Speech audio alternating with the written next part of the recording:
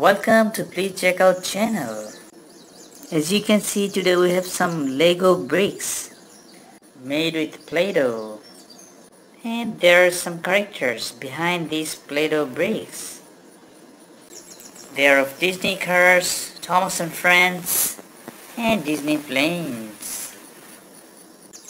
So let's go see who is behind these Lego bricks. You can see the top part. Can you guess? And it's the same color. It is James. Number 5 engine of Sodor Island.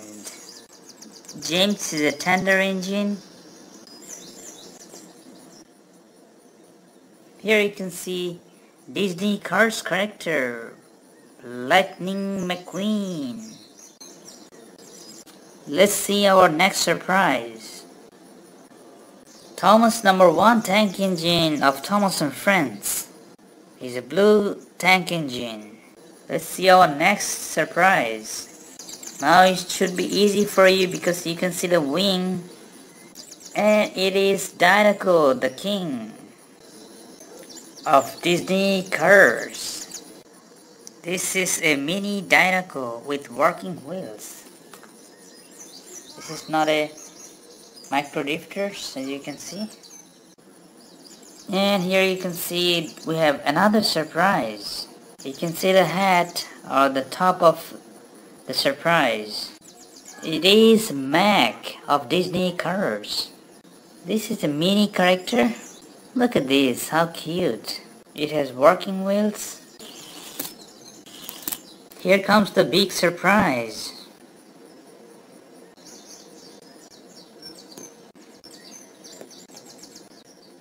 And it is Dusty of Disney Planes. Dusty is the protagonist of Disney Planes. You can see on Dusty's wings we have Play-Doh bricks. Trying to put more. Let's see how many bricks can Mack carry. Now you can see after we put all the Lego bricks together and the engine's colors are, uh, characters are behind the Lego bricks and you can see Lightning McQueen and Thomas and Friends as well because the characters behind the bricks are mostly of Thomas and Friends and Disney cars. Thank you viewers, thank you for watching and please make sure to subscribe. Leave a comment below which one did you like.